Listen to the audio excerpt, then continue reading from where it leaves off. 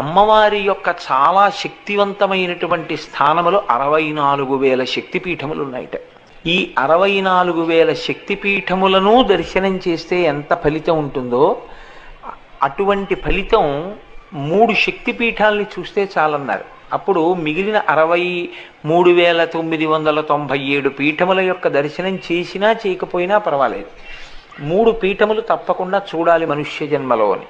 అందులో పంజాబ్ రాష్ట్రంలో ఉండేటటువంటి జలంధర్ అనబడేటటువంటి నగరంలో ఉన్నటువంటి అమ్మవారి యొక్క పీఠాన్ని జలంధర పీఠము అని పిలుస్తారు. ఆ పీఠంలో ఉండేటటువంటి అమ్మవారి దర్శనం చాలా గొప్ప శక్తివంతమైనటువంటి దర్శనం. కాబట్టి అక్కడ అమ్మవారి దర్శనం చెయ్యాలి అని. రెండు ఓడ్యాన పీఠం. ఓడ్యాన పీఠం అంత శక్తివంతమైన పీఠం.